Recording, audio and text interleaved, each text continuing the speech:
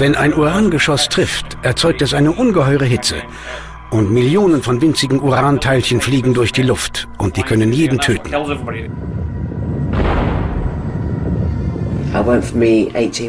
In der 18. Woche ging ich zu einer Untersuchung und da sagten sie mir, dass eines der Zwillingsbabys stark deformiert wäre. An diesem Panzer haben wir gestern die 20.000-fache Radioaktivität gemessen im Vergleich zur natürlichen Strahlung. Heute sehe ich, dass das ein gut organisierter Krieg war, dreckig und heimtückisch. Und dass wir nur Spielfiguren waren, an denen man alles ausprobieren konnte. Oder man wollte etwas loswerden, wovon man zu viel hatte.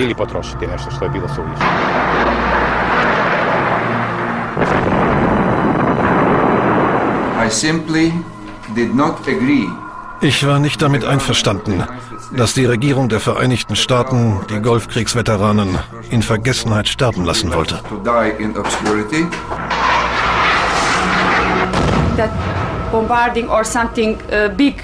Und ich weiß, dass diese Bombardierung meinen Körper zerstört hat. So bekam ich Leukämie. Leukemia. You understand me? Ich frage mich, ob die alliierten Truppen, die hier Massenvernichtungswaffen finden wollten, durch den Einsatz der Urangeschosse nicht selbst eine Massenvernichtungswaffe zum Einsatz gebracht haben. Wir konnten uns bis zu diesem Zeitpunkt nicht erklären, wie das möglich sein kann, dass so weit ab der Kampfgebiete eine 3000-fach höhere Konzentration des Uran-236 gemessen wurde.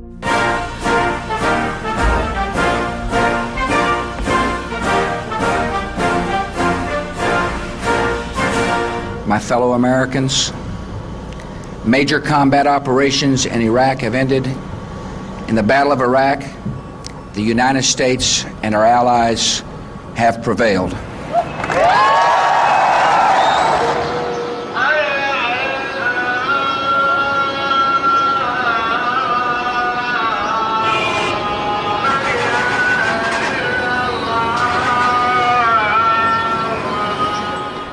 Is minority. You see, eight years and five years, most of them is minority. Yeah.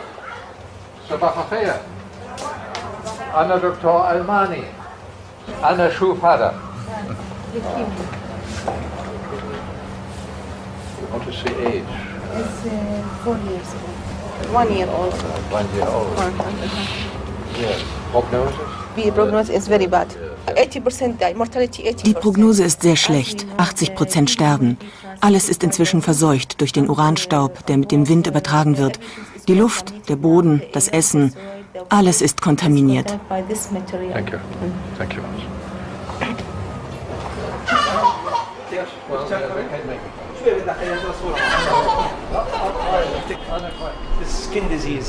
Das Kind hat eine Hautkrankheit und Fischaugen und Fischmund. Es wird sterben.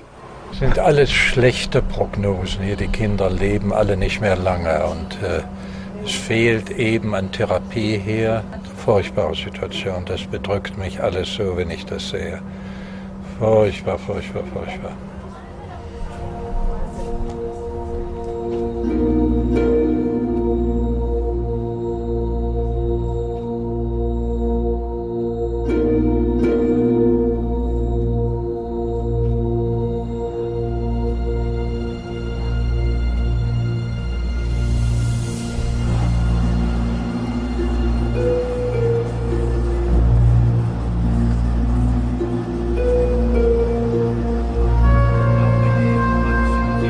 Professor Siegwart Horst Günther auf dem Weg in den Irak.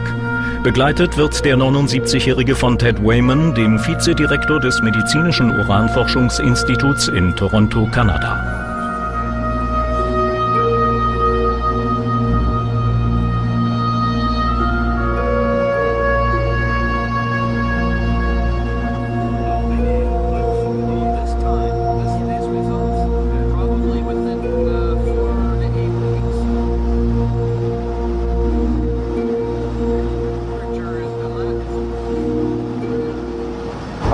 Nochmal in Irak fahre, hat drei Gründe. Erstens mal bin ich Arzt. Zweitens war ich über 40 Jahre in diesen Regionen tätig. Und drittens habe ich hier Geschosse gefunden, äh, die uranhaltig sind und habe hier schwere Krankheitsbilder gefunden. Und jetzt fahre ich hin, um zu sehen, ob sich diese Krankheitsbilder nach dem neuen Golfkrieg erneuert haben. I've come uh, to collect ich bin hierher gekommen, weil ich von Menschen, die der Bombardierung ausgesetzt waren, Urinproben sammeln will. Ich möchte aber auch Boden- und Wasserproben nehmen und vielleicht auch Lungengewebe, um mögliche Verseuchung durch Uranmunition festzustellen.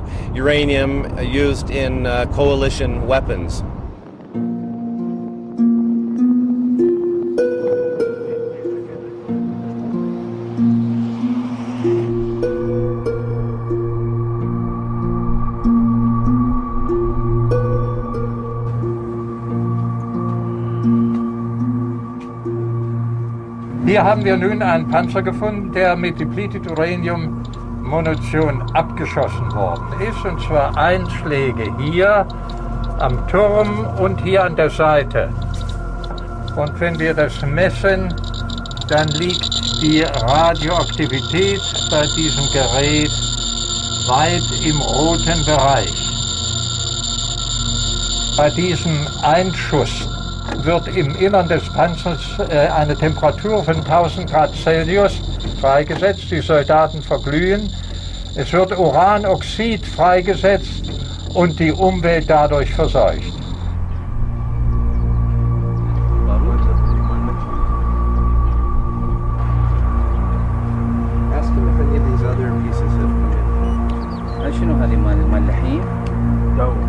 Ted Wayman und der irakische Arzt Dr. Shaikli vermuten, dass das Gelände kontaminiert ist und wollen hier Sand- und Bodenproben nehmen.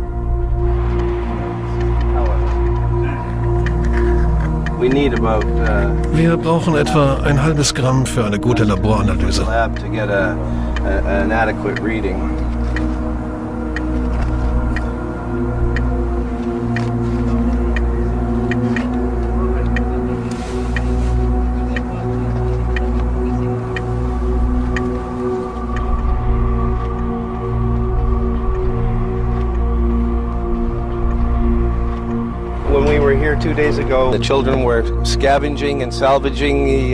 Als wir vor zwei Tagen hier waren, haben Kinder Altmetall geholt.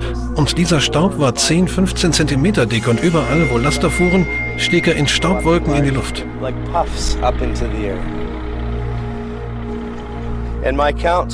Und mein Geigerzählerwert hat sich verdreifacht und vervierfacht, seit wir das Gelände betreten haben.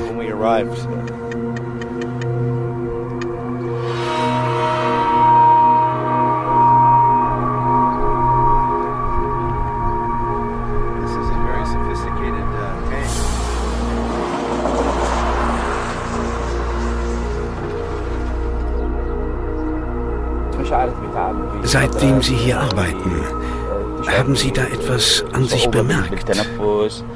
يعني هالأعراض اللي ما كانت موجودة قبل صارت هسه العفو أستاذ الأعراض اللي حسيت بيها Ja, ich fühle etwas in meiner Brust. Ich kann nicht richtig tief atmen.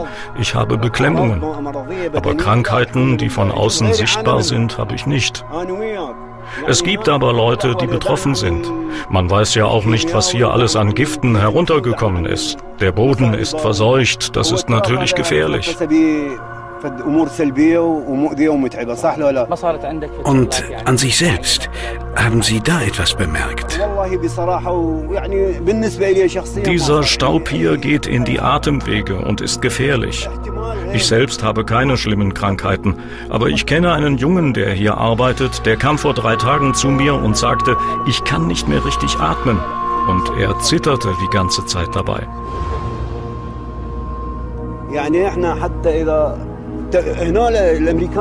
Die Amerikaner dort drüben sprengen ständig irgendetwas und wir kämpfen hier ums Überleben.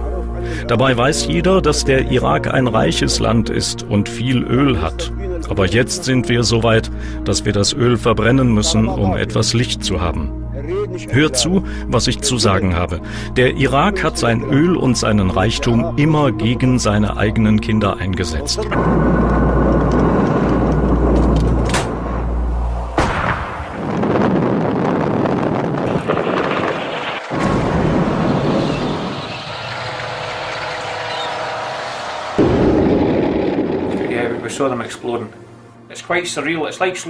Wir sahen sie explodieren. Es hatte etwas Surreales. Es war wie Zeitlupe.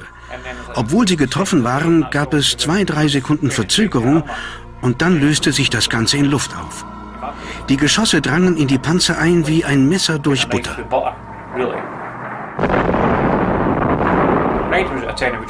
In neun von zehn Fällen wird der Turm weggesprengt. Denn wenn ein Urangeschoss trifft, erzeugt es eine ungeheure Hitze. Und Millionen von winzigen Uranteilchen fliegen durch die Luft. Und das tötet jeden. Darum sind die Geschosse so gut und töten jeden im Panzer.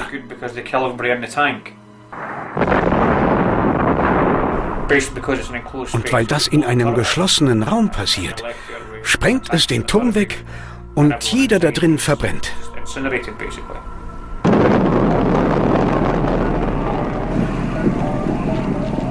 Urangeschosse enthalten sogenanntes abgereichertes Uran, englisch Depleted Uranium, kurz DU, ein Abfallprodukt der Atomindustrie. Der Atommüll ist radioaktiv, muss in speziellen Behältern gelagert und bewacht werden und das kostet Geld.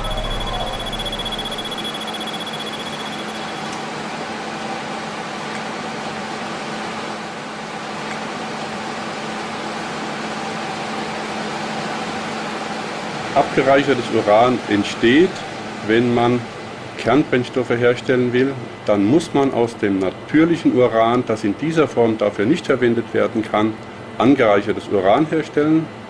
Und das geschieht im Prinzip wie in einer Zentrifuge, in einer Molkerei.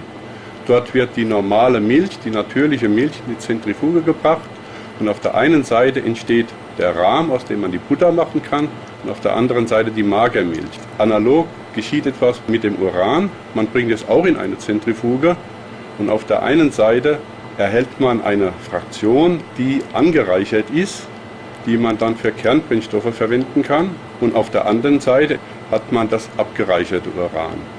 Das heißt, das abgereicherte Uran ist ein Abfallprodukt und es gibt sehr intensive Überlegungen, wie man die inzwischen sehr großen Bestände an abgereichertem Uran, die auf der Welt vorhanden sind, das sind in der Größenordnung von einer Million Tonnen und werden täglich mehr, wie man dieses Uran sozusagen wieder entsorgen kann.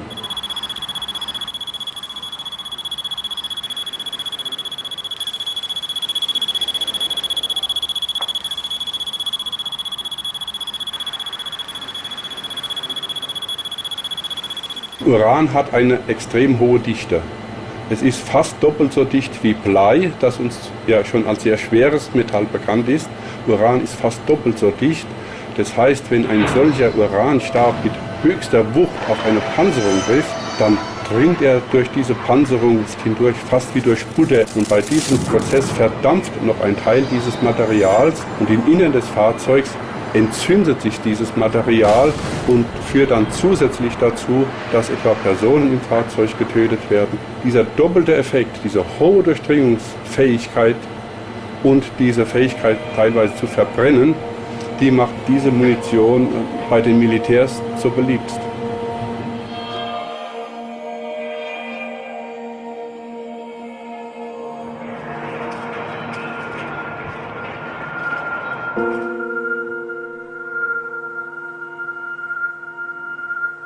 Hier lebt die Golfkriegsveteranin Jenny Moore mit ihrer Familie.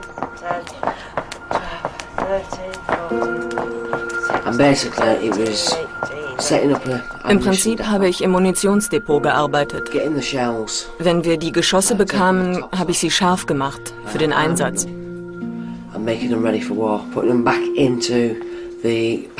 Dann kamen sie wieder auf die Paletten und dorthin, wo die Geschosse gebraucht wurden. Und wenn die Panzer kamen, konnten sie aufmunitioniert werden und in die Schlacht fahren.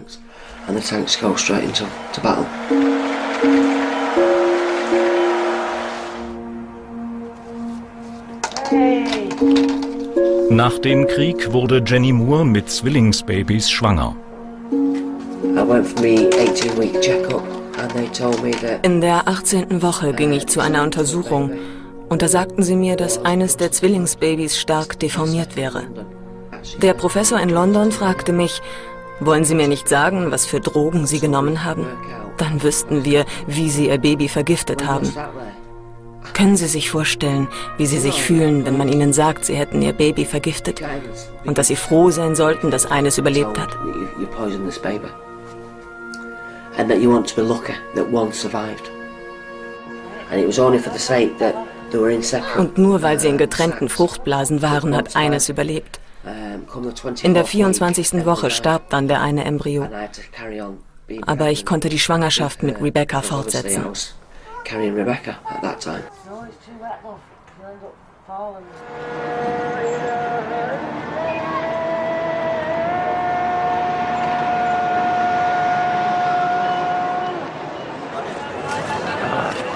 Nach dem Golfkrieg 1991 war auch mir von den Gefahren der Uranmunition noch nichts bekannt. Damals hatten die Alliierten, das weiß man heute, etwa 300 Tonnen diese Uranmunition verschossen, besonders bei den schweren Panzergefechten südlich von Basra.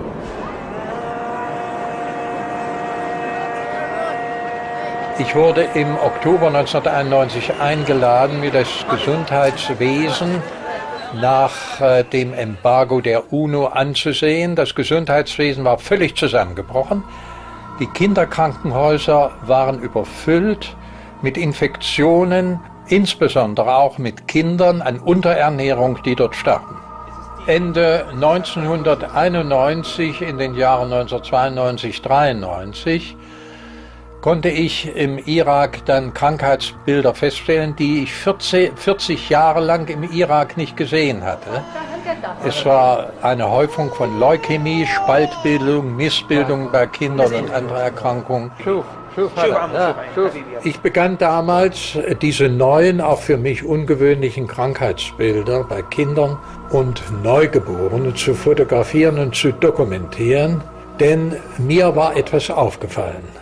Ich hatte inzwischen Geschosse gefunden, die mir komisch vorkamen. Als ich dann außerhalb von Basra Kinder mit derartigen Geschossen spielen sah, die als Puppen angemalt waren und eines dieser Kinder an Leukämie gestorben war, wurde ich sehr misstrauisch. Ich befragte damals bei meinen Arbeiten in Basra die Kinder über ihre Spielgewohnheiten und stellte fest, alle von mir untersuchten Kinder, die an Leukämie erkrankt waren, hatten mit gefundener Munition oder in Panzerwracks gespielt. Fast alle Väter von missgebildeten Kindern hatten als Soldaten an der Panzerschlacht südlich von Basra teilgenommen und ich stellte fest, die Missbildungen ihrer Kinder glichen denen der Missgeburten nach der Tschernobyl-Katastrophe. Ende 1991 schrieb ich erste Artikel über meine Untersuchungen. Ich vermutete, dass die Urangeschosse der Alliierten radioaktiv sind und schuld waren an den Erkrankungen der Kinder. Und so erschienen bald erste Berichte von mir in deutschen Zeitungen. Die ersten im neuen Deutschland, denn andere hatten noch nicht den Mut, darüber zu schreiben. Auch Jenny Moore kam ein schrecklicher Verdacht, als sie zum zweiten Mal schwanger wurde und nach einer Fehlgeburt feststellen musste, dass das totgeborene Mädchen keine Augen hatte. Ich habe gelesen, dass in Amerika und anderen Ländern auch Babys ohne Augen geboren worden waren. Seither weiß ich, meine Babys starben am Golfkriegssyndrom. My babies died of Gulf War syndrome. Auf einer Tagung traf ich einen alten Kollegen wieder, den Arzt Professor Asaf Durakovic. Im Auftrag des amerikanischen Verteidigungsministeriums hatte er zwölf Jahre lang Soldaten untersucht, die am sogenannten Golfkriegssyndrom erkrankt waren. Als er öffentlich die Vermutung äußerte, die Uranmunition sei schuld an ihren Erkrankungen, wurde er vom Pentagon gefeuert. The reason for my whistleblower ich wurde zum Dissidenten, weil ich nicht damit einverstanden war, dass die Regierung der Vereinigten Staaten die Golfkriegsveteranen in Vergessenheit sterben lassen wollte. So habe ich Präsident Clinton einen Brief geschrieben. Indem ich ihm klipp und klar sagte, dass es in den USA eine Verschwörung gegen die Kriegsveteranen gibt, weil man die Erkrankungen, die sie sich im Irakkrieg geholt hatten, verschweigen wollte.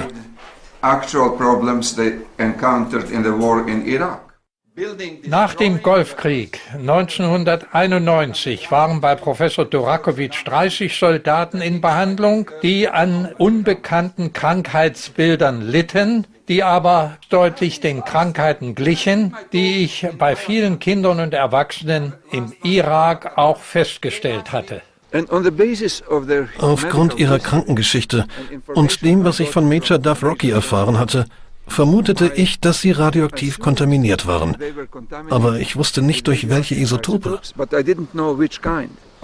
Von dem Ex-Major Duff Rocke hatte Professor Dorakovic erfahren, dass Rocke als Befehlshaber einer Transporteinheit im ersten Golfkrieg die Aufgabe hatte, abgeschossene Panzer aus kuwaitischem Gebiet wegzubringen. Danach waren Rocke und fast alle seine Männer schwer an dem sogenannten Golfkriegssyndrom erkrankt.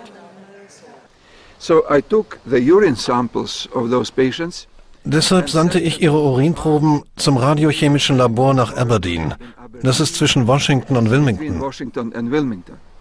Die Proben wurden mit der Regierungspost verschickt, aber sie kamen nie an. Deshalb ging Durakovic damals zu den Direktoren seines Krankenhauses, um sie zur Rede zu stellen. Sie sagten, ich sollte diese Dinge nicht tun, weil sie nur ein kleines Krankenhaus seien und keine Forschungsarbeit machen könnten. Ich sollte meine tägliche Arbeit machen und keine Uranforschung. Und ich bekam Anrufe von höchsten Militärs in Washington, meine Arbeit einzustellen. Und ich fragte, warum? Das ist doch im Interesse der USA, weil ich so den Veteranen helfe. Und niemand sollte das verhindern, bis ich herausgefunden habe, was mit ihnen los ist. Verständlich, dass Professor Dorakovic endlich Klarheit haben wollte. Deshalb schickte er die Urinproben der Soldaten zur Analyse in einen Massenspektrometer. Und als sie positiv zurückkamen, waren diejenigen, die versucht hatten, meine Arbeit zu verhindern, ziemlich konsterniert. Sie wussten nicht, wie sie damit umgehen sollten, weil ich jetzt positive Ergebnisse hatte und die Regierung hatte bisher immer geleugnet, abgereichertes Uran verwendet zu haben. Professor Durakovic setzte unbeirrt seine Arbeit fort und gründete 1995 das unabhängige Uranium Medical Research Center.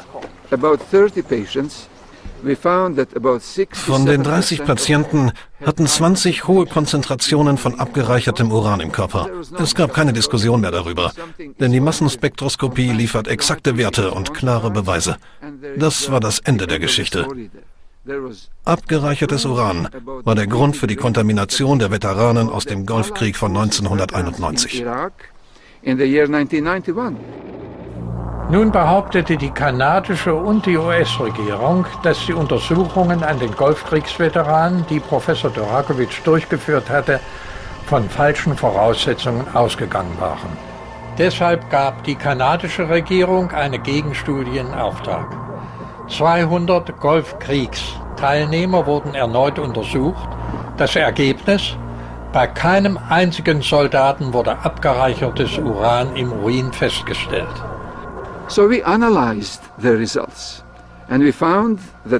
Wir analysierten ihre Ergebnisse und fanden heraus, die Auswahl der Patienten kam aus der gesündesten Gruppierung. Zweitens, die Untersuchungsmethoden waren so angelegt, nichts zu finden.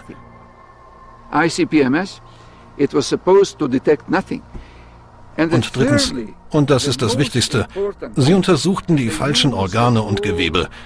Zum Beispiel untersuchten sie die Haare auf Uran. Und ich fragte sie in der wissenschaftlichen Diskussion, warum sie Uran mit Quecksilber verwechselten. Denn Quecksilber geht in die Haare, aber Uran nicht. Uran hat absolut keinen biologischen Zugangsweg zu den Haaren.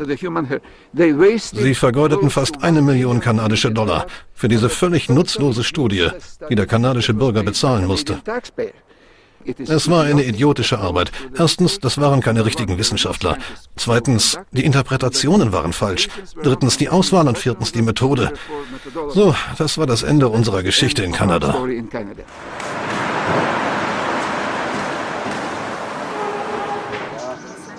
Ich selbst war 1992 einen anderen Weg gegangen.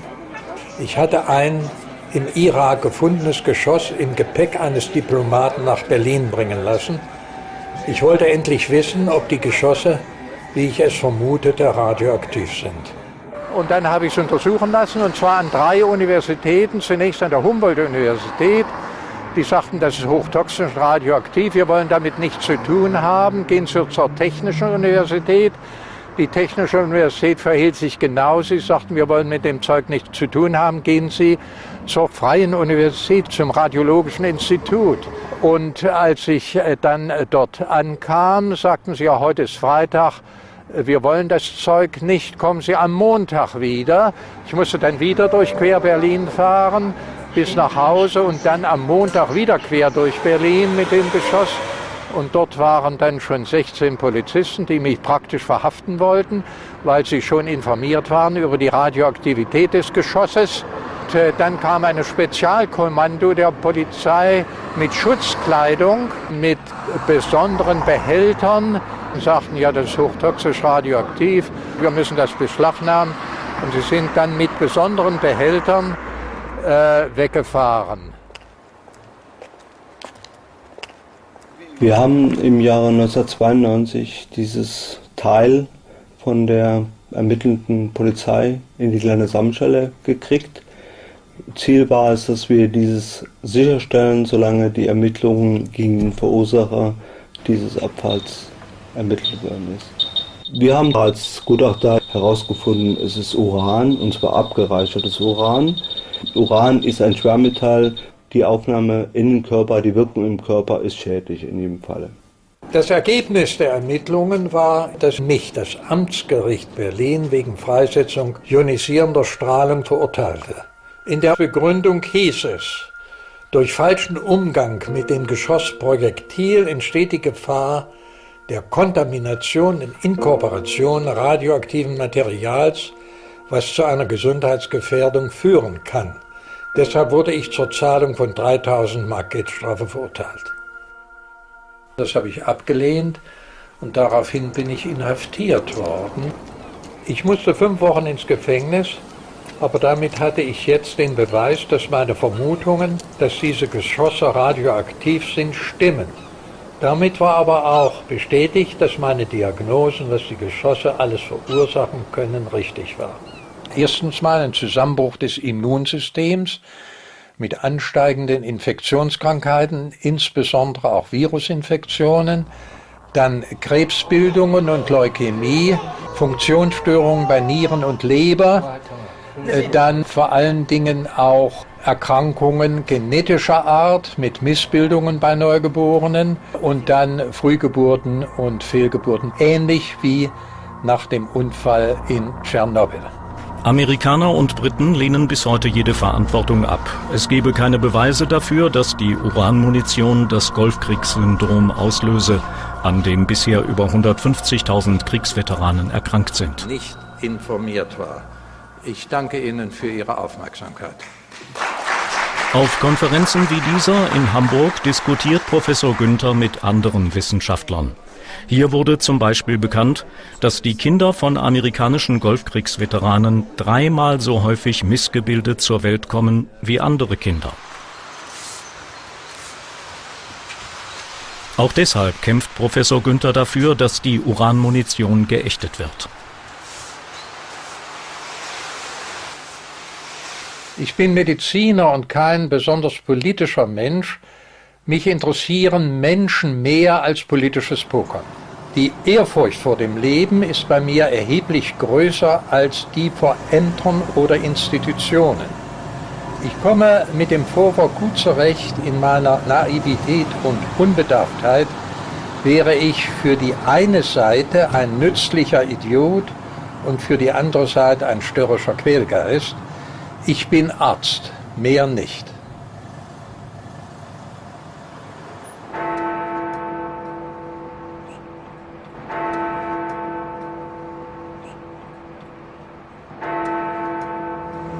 Depleted uranium munitions. God forgive us. Iraq, freedom? Urangeschosse? Gott vergib uns. Den Irak befreien? Das sind unsere Kinder.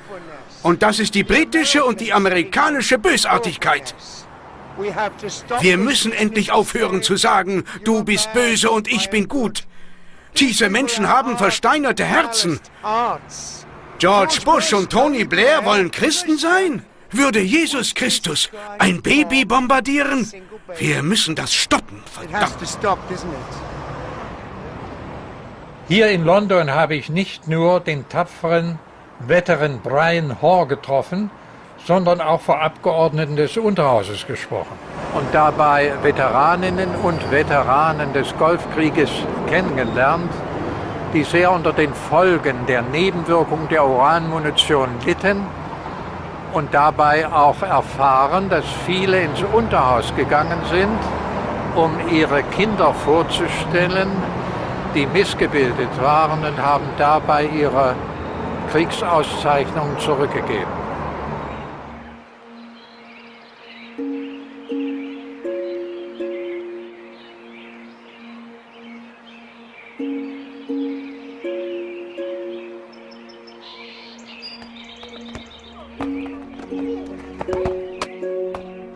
Der neunjährige Kenneth Duncan ist Sohn eines solchen britischen Golfkriegsveteranen. Auf den ersten Blick sind seine Missbildungen nicht sichtbar, aber seine Fußzehen sind zusammengewachsen, seine Ohren gespalten, sein Immunsystem stark geschädigt. Er wird schnell müde und hat oft quälende Kopfschmerzen. Sein Vater, Kenneth Duncan, war im Golfkrieg 1991 direkt hinter der Linie der kämpfenden Truppen und reparierte getroffene Panzer. Wir sind darum geklettert, haben darin gearbeitet und wir trugen keine Schutzanzüge. Wir haben den Staub eingeatmet, waren über Monate hohen Konzentrationen des Giftstoffes ausgesetzt. Als Kenny Duncan heiratete und in den Krieg zog, war er kerngesund. Jetzt hat er das eingeatmete Uran im Körper und ist seitdem krank. Die letzten fünf, sechs Jahre waren die schlimmsten. Er hat jede Nacht Muskelkrämpfe. Er hat Zuckungen und Anfälle und ist deswegen in Behandlung. Es ist immer etwas. Er spuckt Blut. Und wir wissen nicht, woher es kommt. That dust in Iraq der Staub im Irak ist viel gefährlicher als der Staub an diesem friedlichen bayerischen See. Direkt nach dem ersten Golfkrieg haben einige Wissenschaftler versucht, die Erkrankungen der Golfkriegsveteranen zu beschreiben.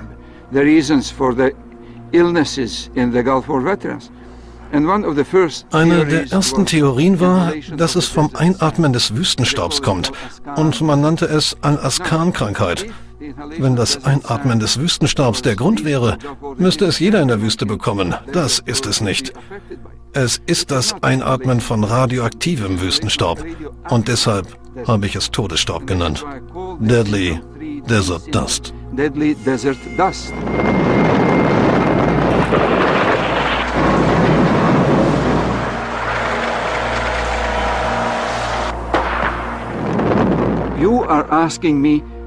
Sie fragen mich, was jetzt mit der Zivilbevölkerung im Irak passiert.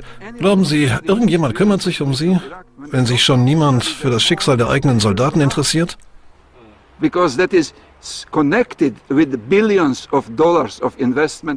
Man müsste Milliarden von Dollars investieren. Basra zu säubern würde allein 200 Milliarden Dollar pro Jahr kosten. Und nur die Brücken über den Euphrat zu dekontaminieren, würde Milliarden kosten. Euphrates River would cost billions of dollars. Was für die Erkrankungen der Veteranen der USA, Kanadas und Großbritanniens gilt, muss man um das tausendfache erhöhen, was die irakische Bevölkerung betrifft. Und es wurde von diesen Regierungen alles unternommen, diese Informationen zu unterdrücken. And Canada and the Great Britain to stop this information. One alpha ein einziges Alpha-Teilchen kann in der Zellstruktur irreparable Schäden hervorrufen, mit allen furchtbaren Folgen. Das ist Grundlage der Nuklearmedizin und Biologie. Das braucht man nicht zu diskutieren. Jedes Kind weiß am Ende der höheren Schulausbildung Bescheid über die Auswirkungen der Alpha- und Beta-Strahlung. Und so sage ich zu allen, die diese Auswirkungen der Uranmunition auch immer leugnen, sie sollen doch bitte noch einmal in die Schule gehen und die Grundlagenbücher der Physik und Nuklearstrahlung studieren.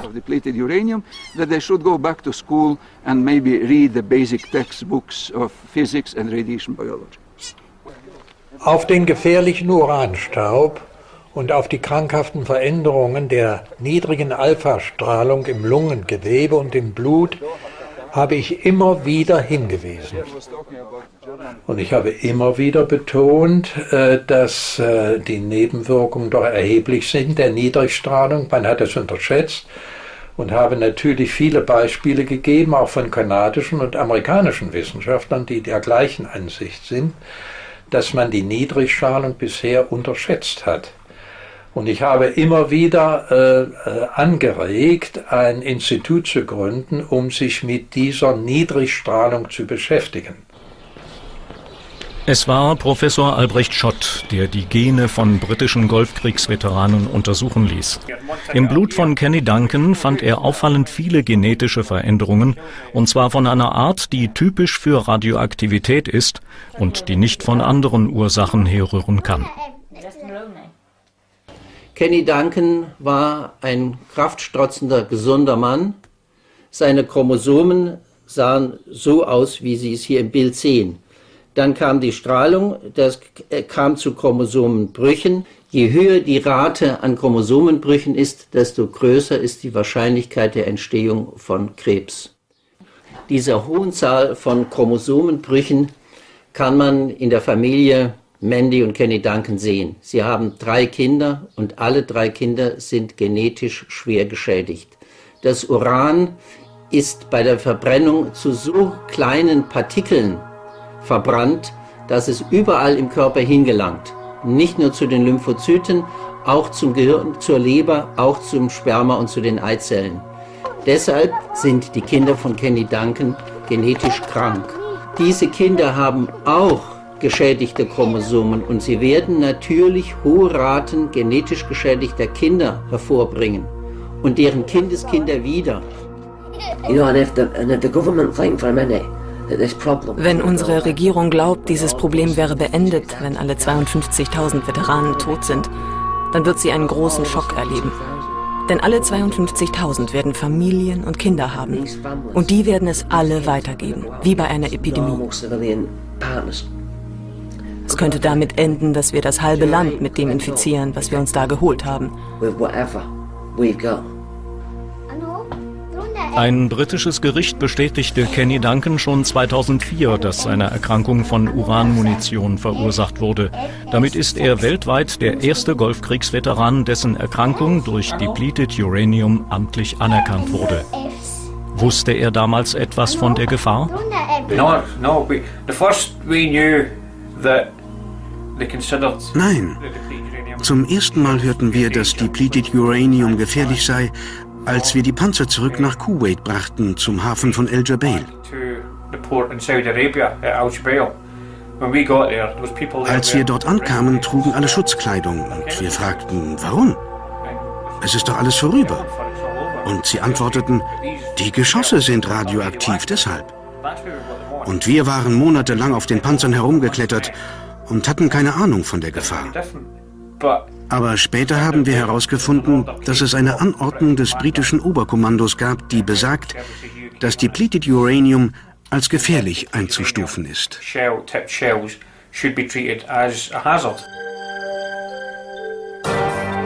Auch die amerikanische Armeeführung wusste frühzeitig von den Gefahren der Uranmunition. Das beweist dieses Trainingsvideo, das die Soldaten vor dem Einatmen von Uranstaub warnt. Es entstand nach einem Handbuch, das es schon vor dem Golfkrieg 91 gab, das aber nicht verteilt wurde. Die Soldaten könnten gefährlichen Uranstaub inhalieren, heißt es in dem Video, wenn sie keine Schutzkleidung tragen. Besonders wichtig seien Atemmasken and the dust is not washed off before eating, drinking, or using the latrine. Findet ein Soldat lose Munitionsreste, so soll er sie nur sichern und die Bergung einem Spezialteam überlassen. Die Gefahren sind den Militärs seit über einem Jahrzehnt bekannt. Aber auf die Uranwaffen will man wegen des enormen militärischen Vorteils nicht verzichten. Deshalb versucht das US-Militär Kritiker mundtot zu machen. Sie sagten zu mir, ich würde meine Karriere riskieren. Und ich erhielt telefonische Warnungen von überall her. Als ich Washington antwortete, dass ich meine Arbeit fortsetzen würde, erhielt ich auch Anrufe von Armeekollegen. Und die baten mich eindringlich, bitte Assaf, hör mit dieser Sache auf, denn das ist nicht gut für dich oder für irgendjemanden. Professor Durakovic erhielt später von Freunden den sehr ernstzunehmenden Hinweis, dass sein Leben bedroht sei. Seitdem lebt er an einem unbekannten Ort in Kanada. Aber auch Professor Günther passierte etwas Merkwürdiges. Ich lief hier auf der Straße, weil das hier verschmutzt war. Ich lief auf der Straße. Da sah ich dann, dass da ein Auto stand und wie der mich sah, fuhr er ganz schnell auf mich zu, streifte mich und ich flog hier in den Graben rein und war dadurch schwer verletzt.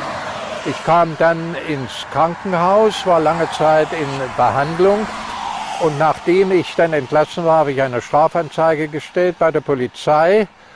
Die sagten, ja, können Sie sich erinnern, welche Nummer das Auto hatte? Nein. Naja, da müssen wir es gegen unbekannt machen und später wurde das Verfahren eingestellt.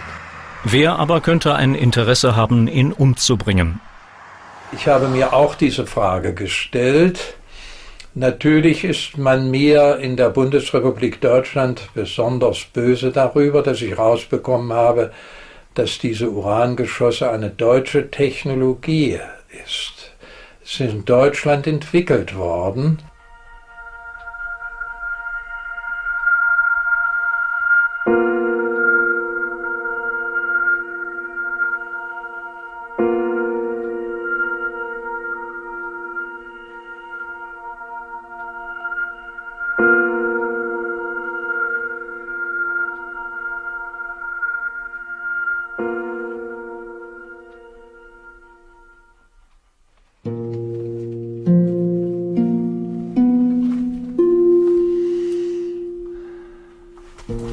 Ich wurde 1925 in Halle an der Saale geboren. Das sind meine Eltern, mein Vater und meine Mutter, auf die ich sehr stolz bin. Da meine Mutter aus einer polnisch-jüdischen Familie stammte, war der Konflikt mit den Nazis vorprogrammiert. Nach dem Abitur meldete ich mich freiwillig zur Wehrmacht, schloss mich aber später dem Widerstand gegen Hitler an. Meine Verhaftung nach dem 20. Juli 1944 überlebte ich wie durch ein Wunder. Mein Studium und meinen Doktor machte ich nach dem Krieg mit Auszeichnung und wurde mit 31 Jahren einer der jüngsten Professoren der DDR. Ich erhielt früh einen Ruf an die Universität von Kairo 1963. Inzwischen war ich Professor. In Damaskus folgte ich einer Einladung Albert Schweitzers nach Lambarene. Ich war sehr glücklich in Lambarene und Albert Schweitzer hat mir äh, auch mein Leben geprägt durch seine Einstellung gegen die Atomwaffenversuche. Nach Lambarene folgte ich einem Ruf nach Bagdad und arbeitete danach fast 40 Jahre im Nahen Osten. Wenn ich in Bagdad bin, besuche ich die Mitarbeiter der Hilfsorganisation Roter Halbmond. Immer werde ich dort freundlich empfangen und diesmal berichtet man mir von der katastrophalen Gesundheitslage im heutigen Irak.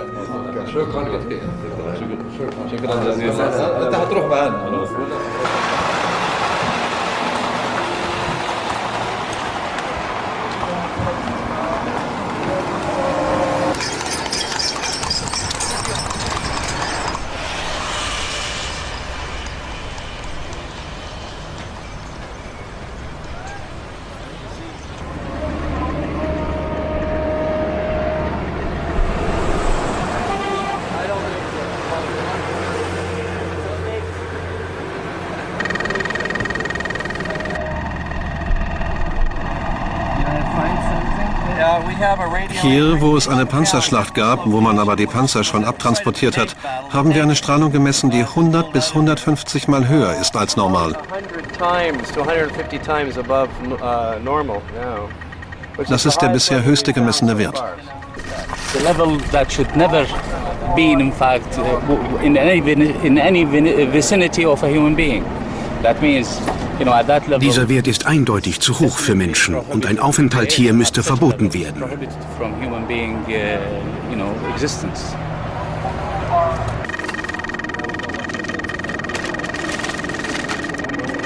Vorsichtig nimmt Ted Wayman einige Bodenproben. Dass er tatsächlich einen extrem hochkontaminierten Ort entdeckt hat, nur wenige Meter entfernt von einem Rastplatz, beweist auch die Auswertung der Proben am Mineralogischen Institut der Johann Wolfgang Goethe Universität in Frankfurt am Main. Dort untersucht Dr. Axel Gerdes seit einigen Monaten Ted Waymans Proben mit einem sogenannten Massenspektrometer. Nur wenige Institute haben dieses hochempfindliche Gerät.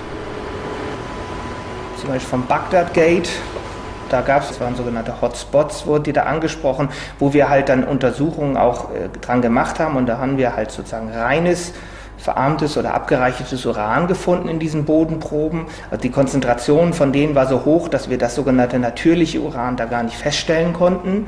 Wenn man das jetzt auf die Staubfraktion bezieht, also da ist es ja so, dass das Uran, das abgereicherte Uran vornehmlich eben in der Staubfraktion ist und wenn man jetzt nur diese analysiert, dann kommt man hier auf Prozentbereiche von 50 bis 60 Prozent, die das abgereicherte Uran dort ausmacht. what's that? Das heißt einfach, das Potenzial, dass Leute das einatmen, auch alle, das ist natürlich äh, höher. Oder das ist natürlich dann auch noch alarmierend, dass eben nicht nur an der unmittelbaren Kriegsschaupunkt, sondern auch in Gebieten weiter weg davon das Potenzial besteht, das einzuatmen. Das ist natürlich erstmal in der Natur drin und das bleibt da auch. Das heißt, diese Gefahr, das einzuatmen, die besteht weiter für 10, für 20, für 30, für 100 Jahre.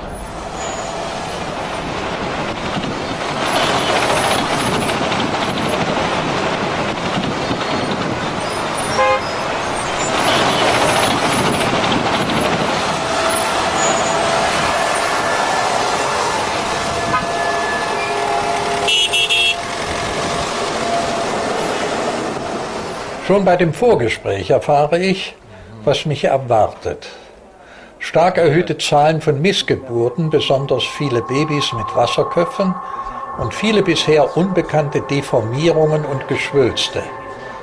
Die irakischen Ärzte erzählen mir, dass seit dem Golfkrieg 1991 die Zahl bösartiger Krebserkrankungen um das Achtfache gestiegen ist.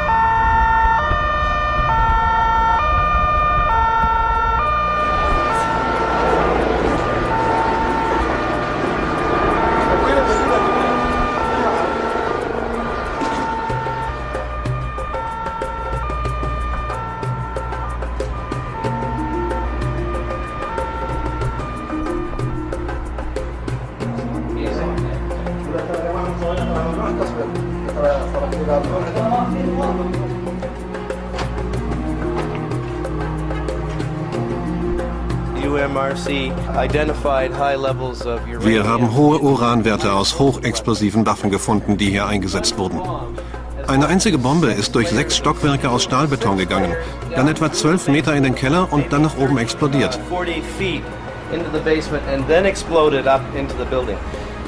Die Frage ist, was kann eine Bombe durch den Stahlbeton treiben bis in den Keller, ohne dass sie vorher explodiert, diese vielen Stockwerke hindurch?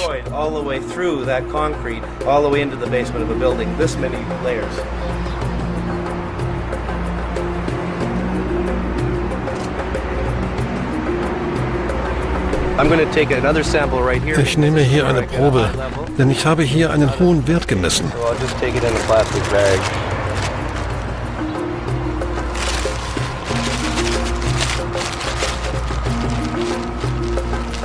Eigentlich sollte Ted Wayman zu seinem Schutz eine Atemmaske tragen.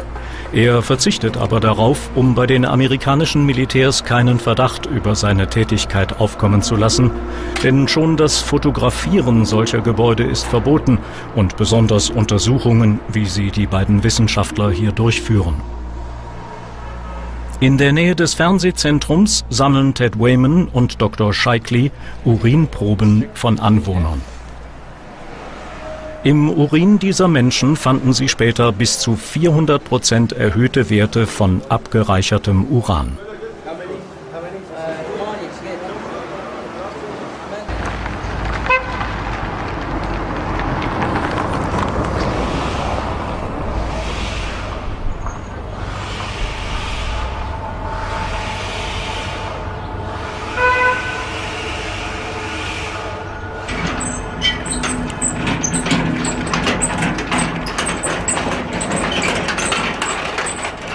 Hier bombardierten am 7. April 2003 alliierte Kampfflugzeuge ein angebliches Restaurant.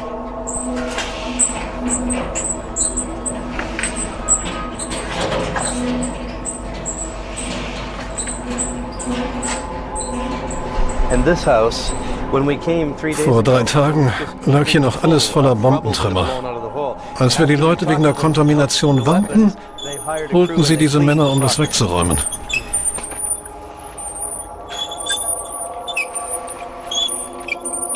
Do you remember there was a restaurant in Mansour uh, where they thought Saddam Hussein was, and they dropped four 2,000 pound GBU 31 bombs on this target?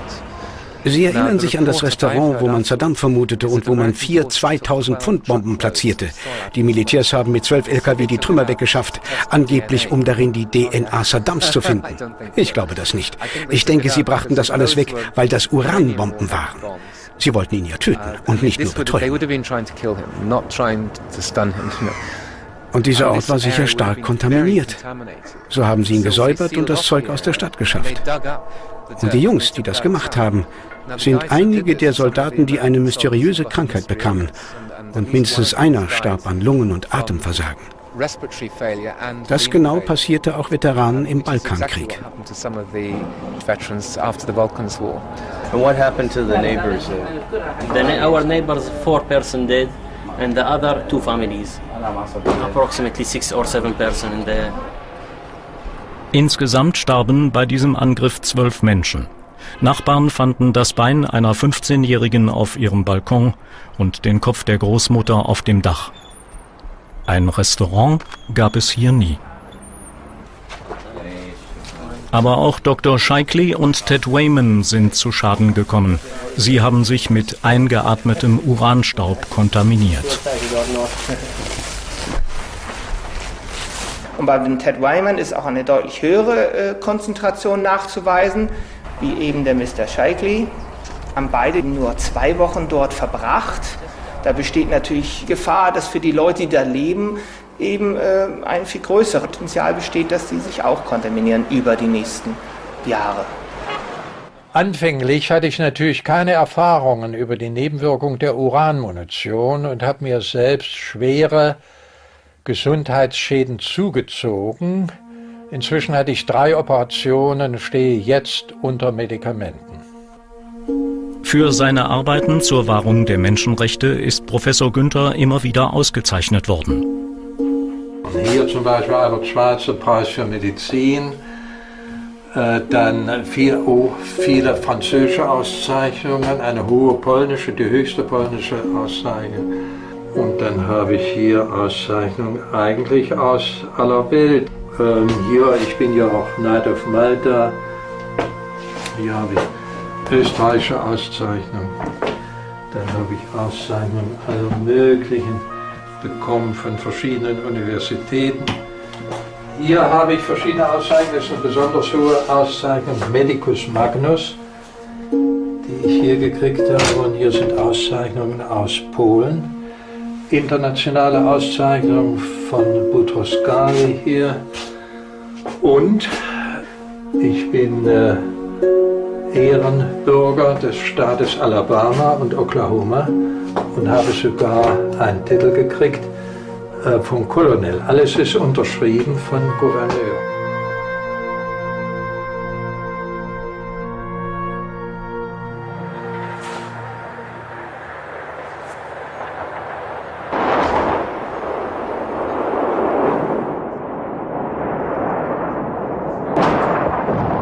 Wieder setzten Amerikaner und Briten Urangeschosse ein, leugneten es auch nicht, sagten aber diesmal, sie seien ungefährlich.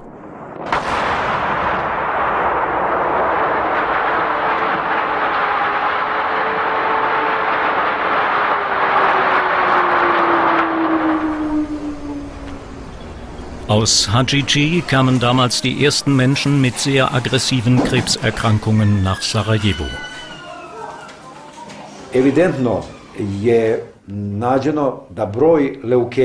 Nachweisbar haben wir herausgefunden, dass die Anzahl der Leukämieerkrankungen in der Bevölkerung dieser Region jetzt viel größer ist als vor dem Krieg.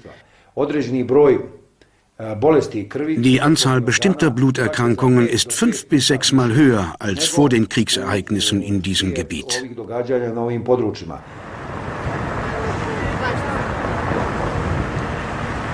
Die Serben ahnten, dass die Bevölkerung von Hadžiči nach der Bombardierung einer gefährlichen Kontamination ausgesetzt sein könnte und siedelten 3500 Bürger in das serbische Gebiet Bosniens nach Bratunac um. Aber es war zu spät, denn viele Menschen waren bereits verseucht.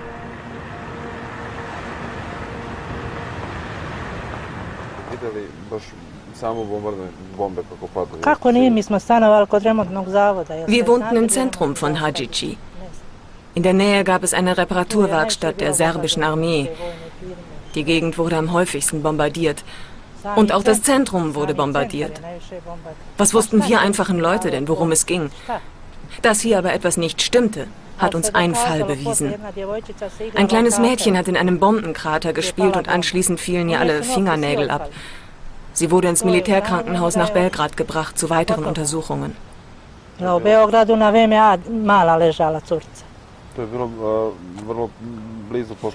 Nur offensichtlich war etwas in der Kratererde, was das verursacht hat.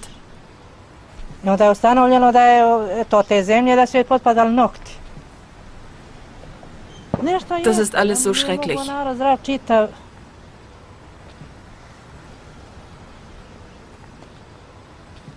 Mir fehlen die Worte.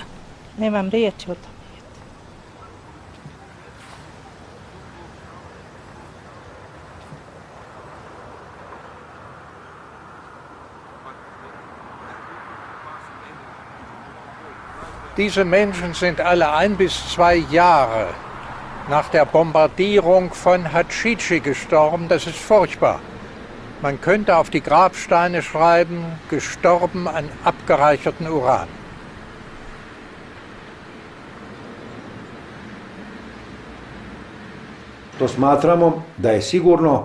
Wir sind sicher, dass die Ursache der vermehrten Krebserkrankungen das abgereicherte Uran ist. Diese Erkrankungen kommen sowohl bei Kindern als auch bei Erwachsenen vor. Ein charakteristischer Fall geschah 1995. Zwei Personen, ein vier Jahre altes Kind und ein 24-jähriger junger Mann, standen nebeneinander, als in unmittelbarer Nähe bombardiert wurde. Beide sind innerhalb von anderthalb Jahren an Leukämie erkrankt und gestorben.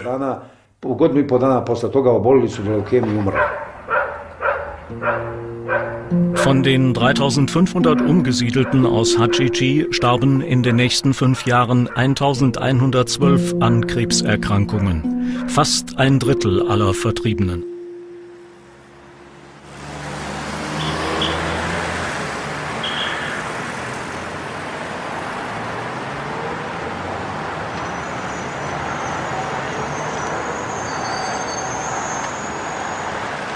Hier in Belgrad hält sich hartnäckig das Gerücht, dass diese bombardierten Gebäude in der Innenstadt auch durch Uranmunition zerstört wurden. Untersuchungen von Experten haben allerdings ergeben, dass sie keine Radioaktivität festgestellt haben. Wenn sie sich getäuscht haben, wäre das furchtbar.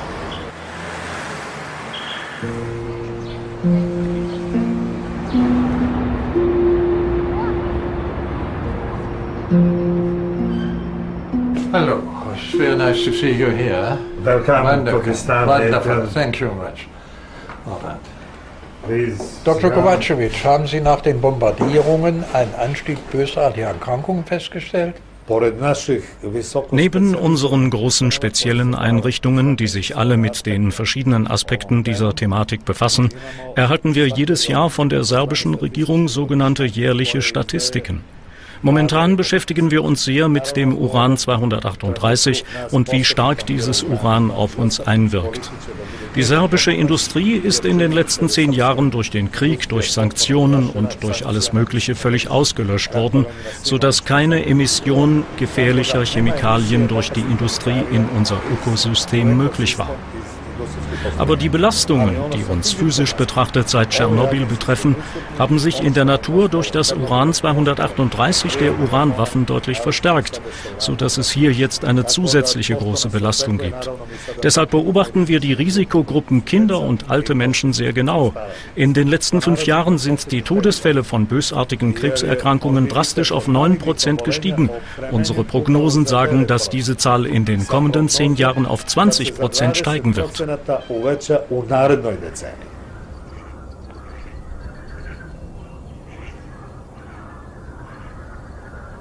I will give you some gloves for the hand and the mask. So then you protect your body. Uh-huh.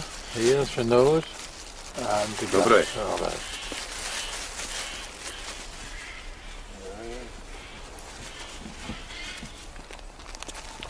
Wir waren überzeugt, dass man die Uranmunition hier nicht anwenden würde. Wir haben gedacht, dass es nur ein kleiner Krieg wird.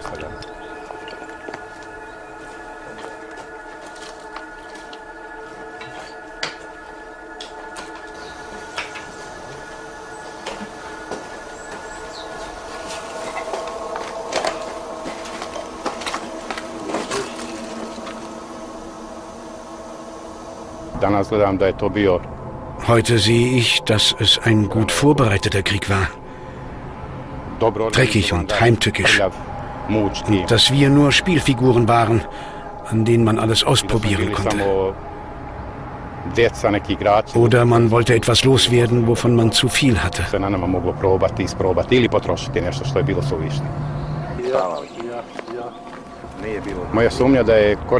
Mein Verdacht, dass Munition mit abgereichertem Uran verwendet worden war, wurde sehr schnell bestätigt, nachdem die ersten nicht identifizierten Teile in mein Büro gebracht wurden. Manche Geschosse waren nicht explodiert, möglicherweise waren es einige Serien, die nicht getroffen hatten. Diese Geschosse lagen verstreut neben zerstörten Objekten auf dem Beton, auf dem die Fahrzeuge standen. Nach der Bombardierung, als ich das erste Mal hier reingegangen bin, habe ich ein ganz eigenartiges Gefühl empfunden. Ein Gefühl von Wärme, die unnatürlich war. Die nicht bedeckten Teile der Haut fangen an, die Farbe zu wechseln und entzünden sich. Man hat das Gefühl, einer diffusen Wärmequelle ausgesetzt zu sein. Man weiß nicht, wo sie herkommt. Es ist unnatürlich, anders. Es ist nicht leicht, dieses Gefühl zu beschreiben.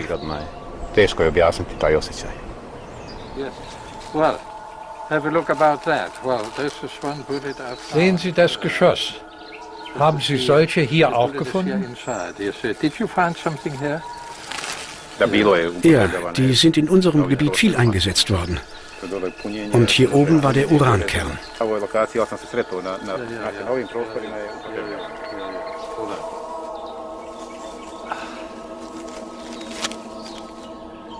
Mein erster Gedanke war damals, dass ich diesen Ort so schnell wie möglich verlassen sollte. Und weil dieses Gelände kontaminiert ist, haben es die Militärs entsprechend gekennzeichnet.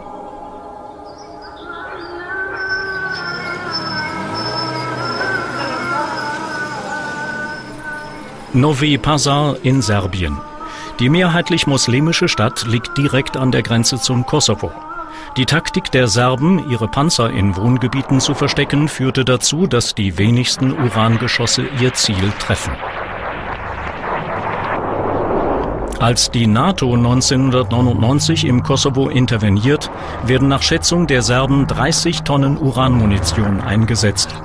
In der Nacht auf den 25. April greifen NATO-Flugzeuge die serbische Garnison von Novi Pazar an, aber sie treffen auch Wohnhäuser und Bauernhöfe.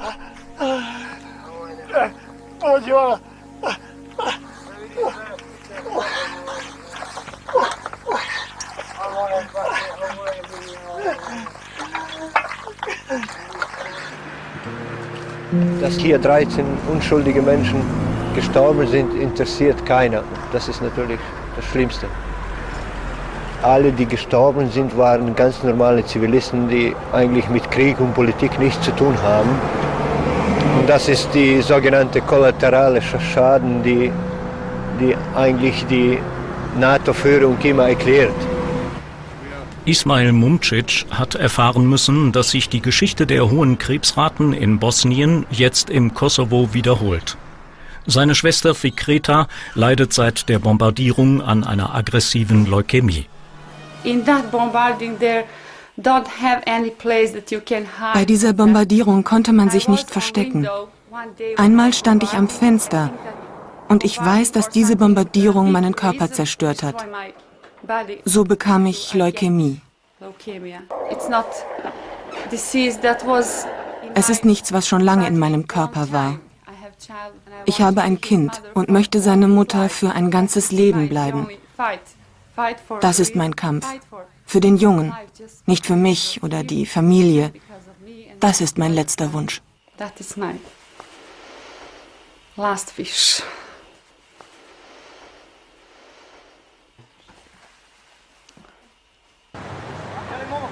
Wir haben eine Aktion angefangen, um Geld zusammen, weil sie Leukämie krank ist. Und das ist auf dem Bild sie mit ihrem Sohn. Der heißt Mirza und da steht, dass Mirza wird gerne mit ihrer Mutter wachsen und dass die Leute, die in diesem Staat leben, mit ihren Spenden, ihrem Therapie bzw. Knochenmarktransplantation ermöglichen durch Spenden. Und da sind die Kontonummer von der Bank, wo sie Leute Geld sammeln bzw. spenden können.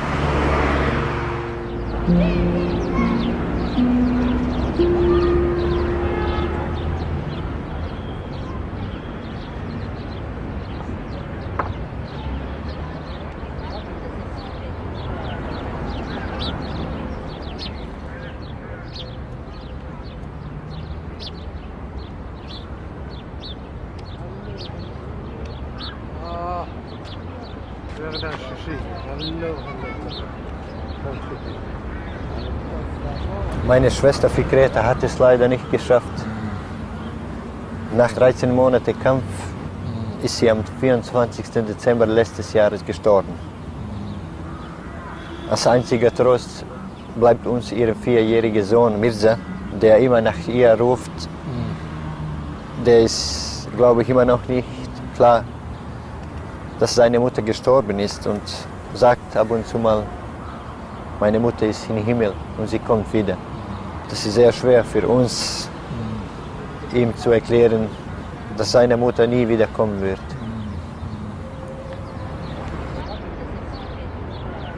Jetzt weiß ich, was diese Bomben uns angetan haben, diese Uraniumbomben.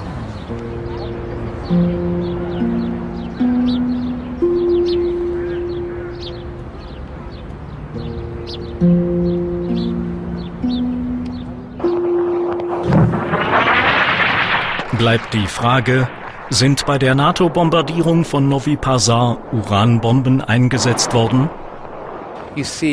Sie sehen ein helles Leuchten, das stärker und stärker wird, etwa vier bis fünf Sekunden andauert und dann verglüht.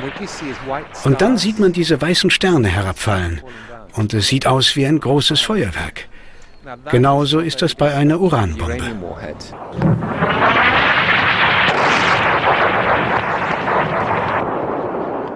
Und doch behauptete im Januar 2001 der damalige deutsche Verteidigungsminister Rudolf Scharping, nach aller wissenschaftlichen Erkenntnis und nach aller medizinischen Erfahrung ist insbesondere bei eingesetzten Soldaten das Strahlenrisiko vernachlässigbar. Erinnern wir uns. Einerseits erhält Professor Günther wegen eines einzigen Urangeschosses einen Strafbefehl wegen Freisetzung ionisierender Strahlung. Andererseits behauptet der damalige deutsche Verteidigungsminister, das Risiko der Urangeschosse sei zu vernachlässigen, wenn sie im Krieg wie im Kosovo eingesetzt werden.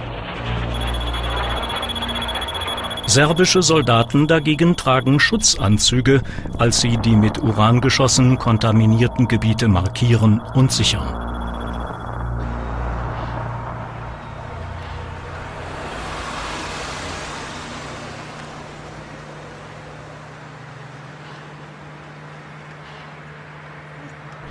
Hello. Hello, welcome. Very nice. Welcome That's here, it. Professor. Thank you. Nice Thank to you meet you. much. That's fine. I'm Please. very happy to see you. Die NATO meint bis heute, dass die kontaminierten Gebiete nicht gesäubert werden müssen. Was meinen Sie dazu? Man bedenke, dass abgereichertes Uran ein radioaktives Element ist, das eine Halbwertszeit von viereinhalb Milliarden Jahren hat. Wenn es in den Gebieten bleibt, dann für ewig. Unser Ziel war es, das wegzuräumen, die Gefahren zu begrenzen und zu verhindern, dass abgereichertes Uran zu einer Gefährdung wird.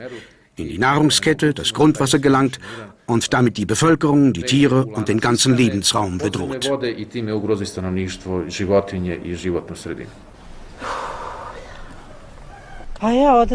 dem Grab liegt meine Schwägerin. Sie ist ganz plötzlich krank geworden. Die Haare sind ihr ausgefallen.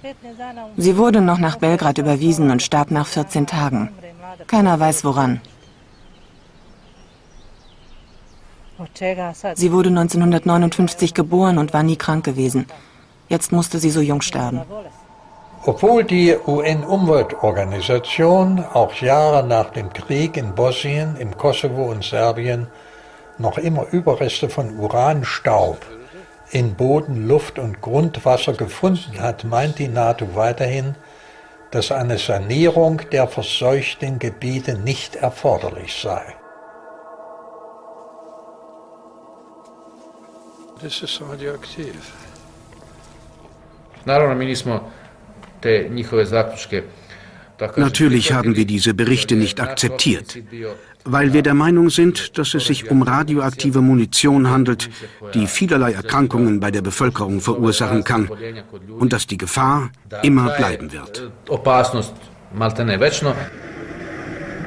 Inzwischen hat die serbische Armee erfolgreich die Sanierung einiger kontaminierter Gebiete abschließen können. Dabei wurde Geschoss für Geschoss der Uranmunition ausgegraben und der verseuchte Boden auf einer Giftmülldeponie entsorgt. Aber jetzt fehlt das Geld, diese wichtige Arbeit fortzusetzen. Italiener, Spanier und Portugiesen melden bei ihren im Kosovo stationierten Soldaten auffallend viele Leukämiefälle. Es ist vom Balkan-Syndrom die Rede, analog zum Golfkriegssyndrom. Die deutschen Truppen im Kosovo hätten dagegen keine Gesundheitsprobleme. Der mysteriöse Tod des deutschen Soldaten André Horn spricht allerdings gegen diese Behauptung. André Horn war am Morgen des 31. Januar 2000 in Prizren in das Feldlazarett gegangen. Zwölf Stunden später war er tot. Seit dieser Zeit versucht sein Vater verzweifelt, die wirkliche Todesursache seines Sohnes aufzuklären. Am Anfang wurde erzählt, dass André an einer schnelllaufenden Menierkokken Sepsis gestorben ist. Und im Laufe der Jahre habe ich eben festgestellt, dass das nicht stimmt. Ich glaube nicht, dass die Todesursache, die der Pathologe Dr. Kraft aufgeschrieben hat, dass die den Tatsachen entsprechend tut. Aus den Unterlagen, die ich dann ersehen habe, habe ich einen Erstbefund gefunden von einem Oberstabsarzt Henning Schulz. Da war von einer Hirnhautentzündung oder Menierkokken überhaupt nicht mehr die Rede. Zu diesem Zeitpunkt wird davon gesprochen, dass Herr Horn an einer atypischen Pneumonie erkrankt ist mit inneren Blutungen. Daraufhin habe ich jetzt alleine den Entschluss gefasst, Strafanzeige zu stellen. In dieser Strafanzeige habe ich auch eindringlich gebeten, eine Exhumierung meines Sohnes vorzunehmen, um die endgültige Todesursache und die Krankheit, an die mein Sohn gestorben ist, zu ermitteln. Nachdem ich die Unterlagen von Horn eingesehen habe, habe ich doch den Eindruck bekommen, dass der Sohn an Uranmunition verstorben ist. Und zwar hat er zunächst äh, Uranpartikel aufgenommen, und zwar entweder durch Nahrung oder durch die Luft durch Einatmung, dass sein Immunsystem zusammengebrochen ist danach und äh, dass er dann an Erscheinungen von Infektionen gestorben ist, weil keine Resistenz mehr bestand. Es muss doch einen Grund geben, warum meinem Anwalt und mir in den fünf Jahren nicht gestattet war, die Originalakten einzusehen. Warum darf meine Familie nicht die wahre Todesursache erfahren?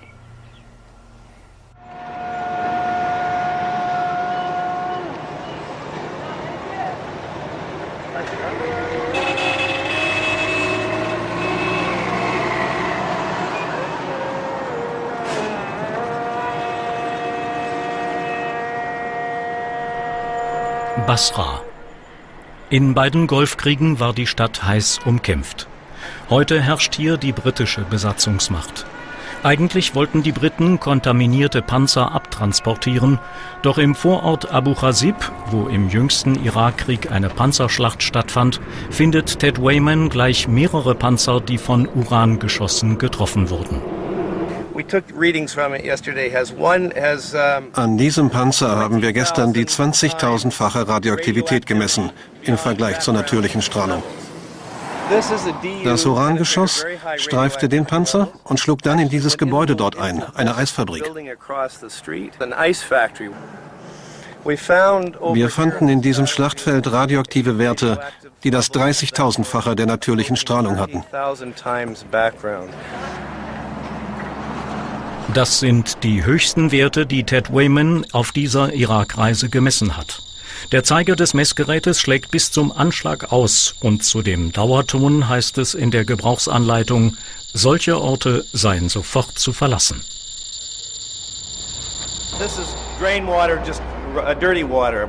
Das hier ist ausgelaufenes Schmutzwasser und wir wollen sehen, was das Labor dazu sagt.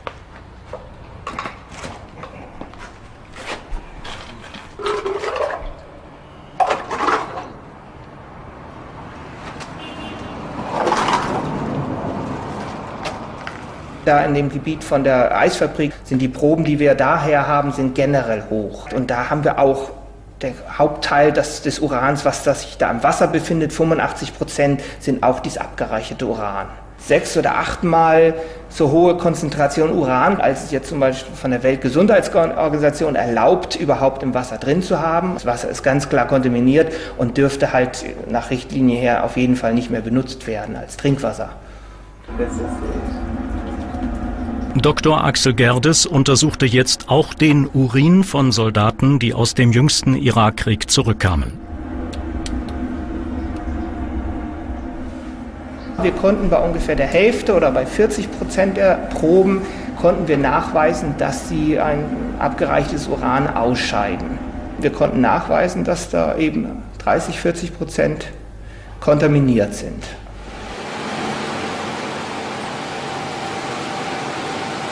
Das bezweifelt Dr. Paul Roth vom Institut für Strahlenschutz in Neuherberg bei München.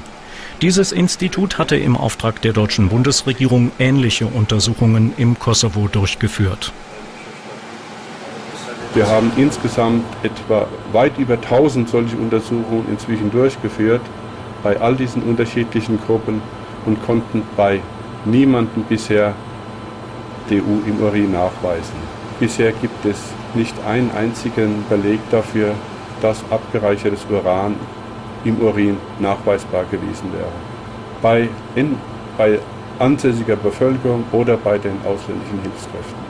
Ja, man hat natürlich bei den Soldaten im Kosovo sozusagen nur geguckt, sind sehr stark, starke Konzentrationen, sehr stark erhöhte Konzentrationen nachzuweisen. Und da hat man gesagt, sind nicht.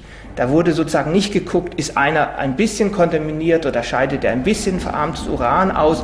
Und da ist es halt zu sagen, das ist nicht unbedingt die Herangehensweise zu klären, ob jemand überhaupt kontaminiert wurde. Weil, wie gesagt, dass, wenn es als unlöslich Partikel im Körper ist und nur kleinste Teile davon ausgeschieden werden, dann finde ich natürlich auch nur kleinste Teile im Urin. Und da muss man natürlich mit verfeinerten Methoden und mit verfeinerten Techniken rangehen und auch das Ob zu klären. Inzwischen ist man im Institut für Strahlenschutz in Neuherberg aufgrund neuer Versuchsreihen nachdenklicher geworden. Wir haben in Laborversuchen untersucht, wie sich solches DU-Material in simulierter Lungenflüssigkeit verhält. Und auch für uns etwas überraschend waren die Ergebnisse, die wir bis jetzt erzielt haben. Ein gewisser Teil dieses Materials, etwa ein Drittel bis zur Hälfte, löst sich sehr rasch auf, innerhalb von wenigen Tagen, wird also aus der Lunge entfernt. Der andere Teil, etwa die Hälfte bis zwei Drittel, löst sich entweder nur sehr langsam oder vielleicht auch gar nicht auf. Solange es in der Lunge ist, strahlt es natürlich weiter.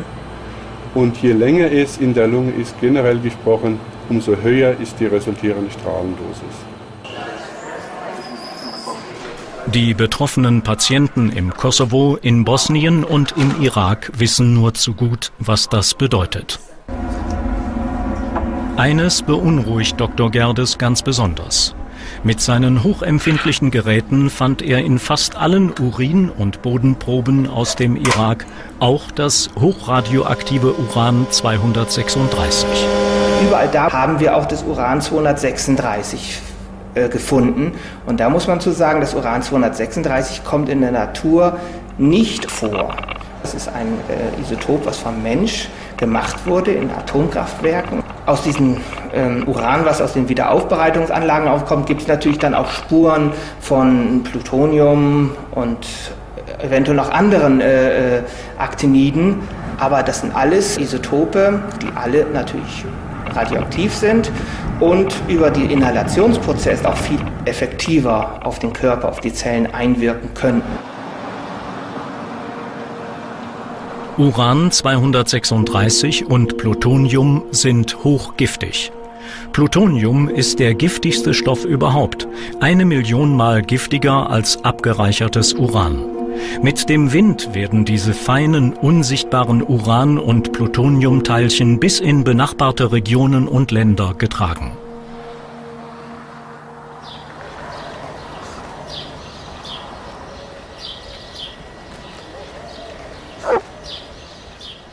Dass die hochgefährlichen Uranteilchen aus dem Südirak inzwischen bis in viele hundert Kilometer entfernte Regionen getragen wurden, hat der Arzt Dr. Michael Kreuscher nachgewiesen. Lieber Herr Professor Günther, berichten möchte ich Ihnen über die jüngsten Ergebnisse der Universität Frankfurt, wo wir Urinproben von an Leukämie erkrankten Kindern, Gewebeproben von Rindern und Flugstaubproben aus der Umgebung von Erbil massenspektrometrisch untersuchen ließen. Während des Irakkrieges 2003 begleitete ich eine Hilfslieferung ins nordirakische Kurdistan. Kolleginnen und Kollegen baten mich, mein Augenmerk auf die stetig wachsende Neuerkrankungsrate von Leukämie bei Kindern zu richten. Auffallend war, dass die bei uns als Erwachsenen-Leukämie bekannte Form, die besonders gefährlich ist, bei den Kindern um bis zu das 40-fache erhöht ist. Aus diesem Grund haben wir aus dem großen Trinkwasserspeicher Dukansee aus dem Oberflächenstaub der Erde Proben genommen. Außerdem haben wir den Luftfilter eines Fahrzeuges, was nur wir gefahren haben, in Erbil gewechselt und haben dieses Filter ebenfalls massenspektrometrisch auf Depleted Uranium Belastung untersuchen lassen. Eine massive DU-Belastung konnte festgestellt werden. Wir konnten uns bis zu diesem Zeitpunkt nicht erklären, wie das möglich sein kann, dass so weit ab der Kampfgebiete eine 3000-fach höhere Konzentration des Uran-236 gemessen wurde. Wir haben dazu einen Meteorologen befragt und wir wurden darauf hingewiesen, dass es äh, gerade während der Sommerzeit sehr starke Süd-Nordwinde gibt, die sogenannten Desert Storms, die den sehr feinen Uranstaub in die nördlichen Regionen tragen und dann zum Beispiel in Erbil durch kleine Windhosen immer wieder in die äh, Atemluft auch äh, verwirbelt und verteilt wird.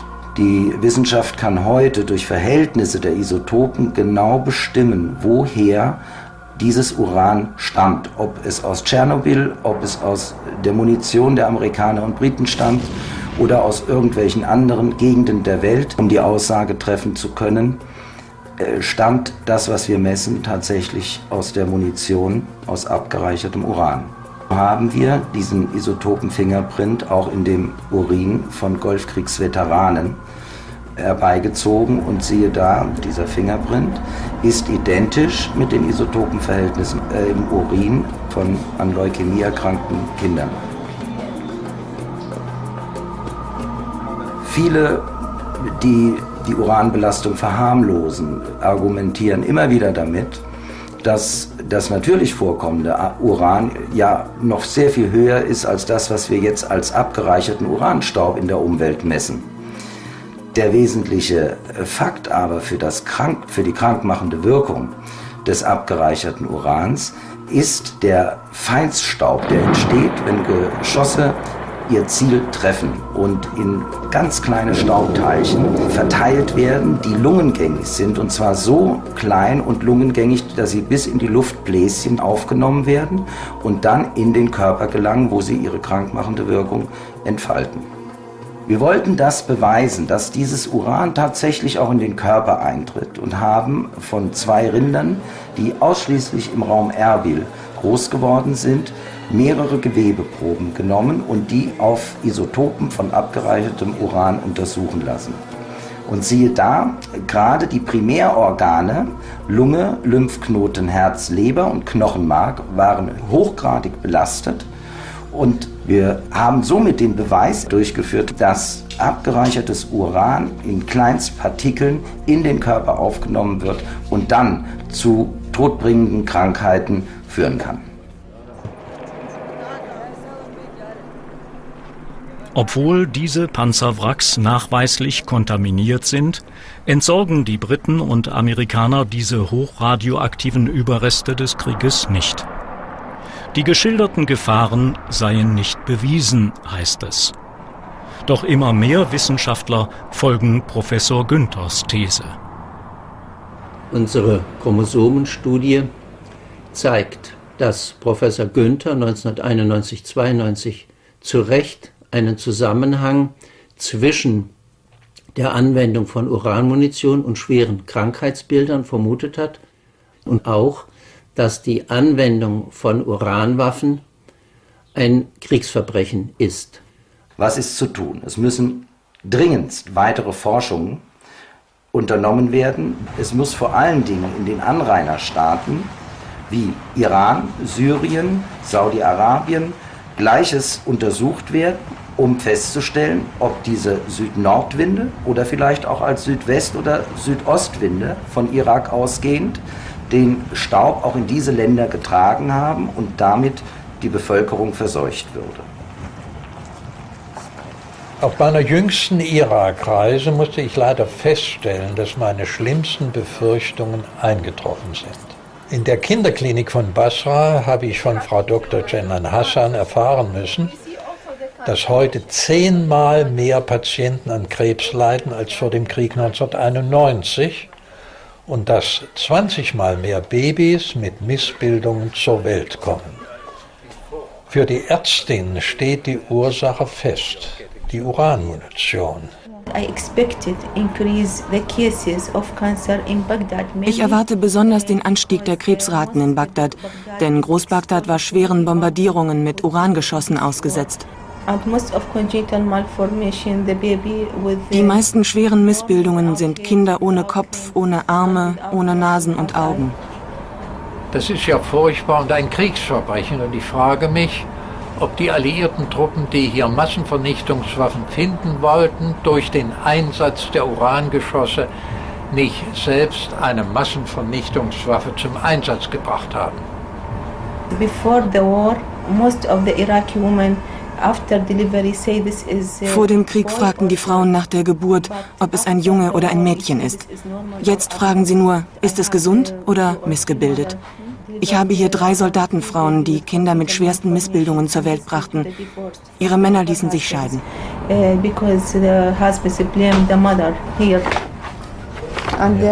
Und die Väter sind Soldaten. Wir beobachten einen starken Anstieg von Krebs- und Leukämiefällen bei Kindern und sie werden immer jünger. Also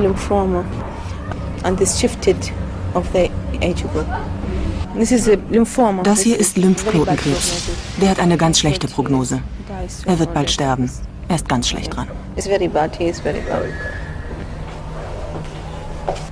sind alles schlechte Prognosen hier. Die Kinder leben alle nicht mehr lange. Und, äh, es fehlt eben an Therapie hier.